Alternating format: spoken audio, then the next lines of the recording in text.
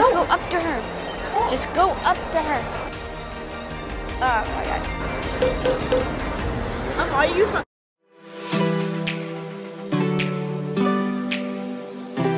How are you in Texas? I don't.